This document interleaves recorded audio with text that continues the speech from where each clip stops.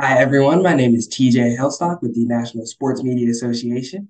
Today I am with 2022 Georgia Sports Writer of the Year, Orlando Ledbetter. How are you doing today? I'm doing great, Tim. All right. So my first question for you is what does receiving this award mean to you? Well, it's a great honor, Tim, uh, to be recognized by your peers and by such a, a prestigious organization. Uh, you know, we don't really work for the awards, but it's always good to be recognized. Right. Uh, so, in terms of sports writing, what was your first job in the business? What was your first intro job? Yeah, my first job after college was at the Charlotte Observer as the area roundup editor, okay. and eventually uh, started uh, covering high schools uh, at the Charlotte Observer. Okay, that's cool. That's cool.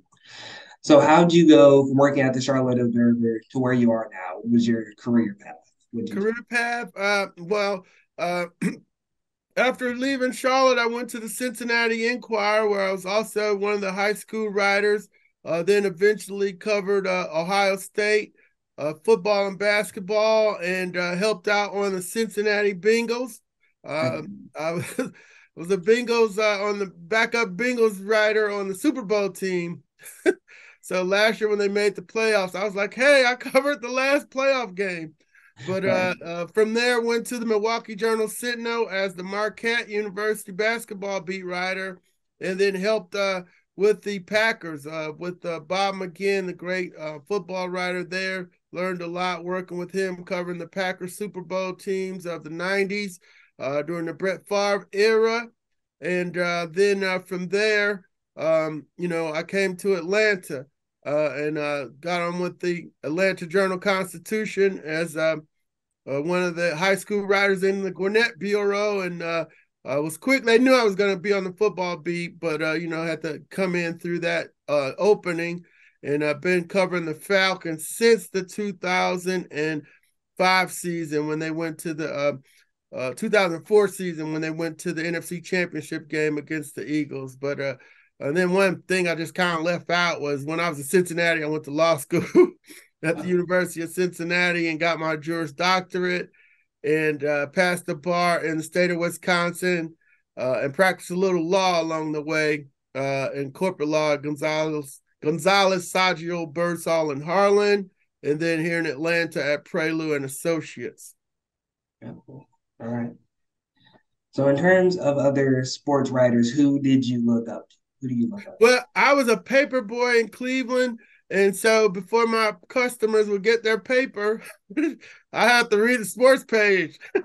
and uh, the, my uh, childhood heroes were the sports writers of the Cleveland Plain Dealer, Hal Lebovitz, uh, Russell Schneider, uh, you know, just to name a few. Uh, um, Ed Shea, he covered Ohio State, uh, whoever, you know, and, uh, you know, those were uh, my guys who brought the Cleveland Browns, the Indians, and the uh, Cavaliers to life. And, and uh, I just started writing at the junior high school paper and uh, uh was able to keep writing um, in college, uh, in high school, and in college. And I was editor chief at the uh, the Hilltop at Howard University. And then last question, what advice do you have for upcoming college and high school students who want to get where you are, who want to be sports writers? Well, yeah, now it's the more you can do. It was just uh, ready. Everything was separate then, you know, uh, print, TV, radio. Now it's all together. You got to be able to do all of it. And uh, the best advice I, I got from a writer uh, was from Sam Lacy, myself and Sean Paul Powell.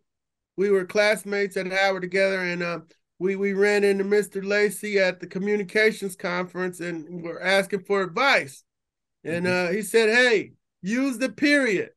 So uh, I took that to mean, mean uh, write short, write clear sentences, and um, you know, get to the point. Everybody wants to, you know, ramble around and so forth, but uh, use the period was the best advice I received from Sam Lacy. And my advice to the kids uh, that would like to get into the sports field now, uh, you may not have as many writing jobs as you used to, the mm-hmm. entry level jobs of covering high school are, are, are gone pretty much.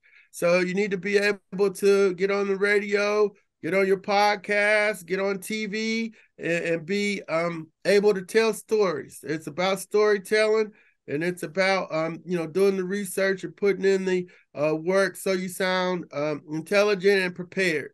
So uh, that would be my advice to uh, anybody that's uh, seeking to enter the uh, sports journalism field today. Well, thank you for sitting with, with us today, answering all my questions, and that's all I got for you. Well, all right, Tim. Thanks for having me. It's always a pleasure. All right. Thank you. Talk to you later.